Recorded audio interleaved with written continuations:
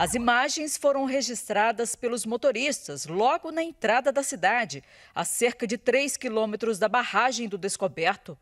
Segundo a Polícia Civil do estado de Goiás, houve um confronto entre os militares e dois suspeitos de um roubo com restrição à liberdade. Nas imagens, um dos motoristas flagra uma intensa troca de tiros entre militares e criminosos. Movimentação insana lá, hein? Troca de tiro. Ainda segundo a PM, o tiroteio começou depois que os criminosos fugiram de um roubo com restrição à liberdade no núcleo Bandeirante. Eram quatro bandidos. Um foi preso ainda no Distrito Federal e um segundo conseguiu fugir. Os outros dois seguiram sentido Águas Lindas, com um malote com 29 mil reais em dinheiro. Esses dois trocaram tiros com a Polícia Civil do Estado de Goiás e fugiram para o meio do mato. Um acabou levando um tiro e não resistiu aos ferimentos.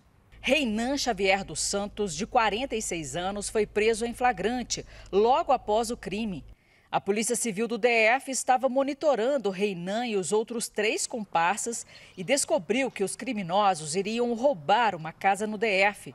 Segundo o delegado responsável pelas investigações, o grupo é conhecido pela prática de crimes violentos, principalmente roubos. Todos os autores têm muitas antecedências criminais. O que nós prendemos tinha antecedências por homicídio e roubos. Passou um longo período preso, mais de 12 anos preso aqui na, no Distrito Federal. O indivíduo que morreu em confronto com os policiais militares não tinha antecedentes no DF, mas, segundo informado pela Polícia do Goiás, também era muito conhecido lá pela prática de roubos e furtos de caixa eletrônico. E o grupo agia mais no estado do Goiás, dessa vez, então, eles resolveram agir aqui no DF. Conseguimos prender um, o outro acabou falecendo e a gente espera em breve prender os outros dois que conseguiram fugir ontem. A vítima do roubo com restrição à liberdade foi uma senhora de 78 anos de idade. Ela foi feita refém e amarrada pelos criminosos. Da casa dela foram roubados um celular, um notebook e cerca de 29 mil reais em dinheiro.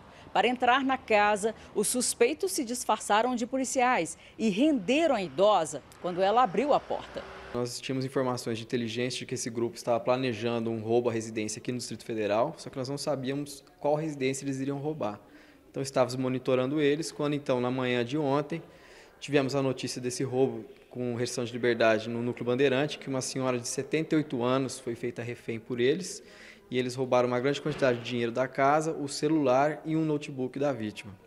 Diante disso, nossas equipes já foram mobilizadas e em virtude do monitoramento que nós estamos fazendo, já sabíamos os carros que eles estavam usando e, e conseguimos interceptar um desses veículos na Ceilândia, prendendo esse autor que participou desse roubo e conseguimos passar a informação para a Polícia Militar do Estado do Goiás de que o outro veículo estava se evadindo sentido a Águas Lindas. A Polícia Militar do Goiás também conseguiu interceptar esse veículo, os autores reagiram, um deles acabou morrendo na troca de tiros e o outro se evadiu. Há também um quarto foragido que estava na, na Ceilândia, nossa equipe também não conseguiu capturá-lo. As investigações agora irão prosseguir para nós identificarmos eles e pedimos as prisões preventivas ao Poder Judiciário.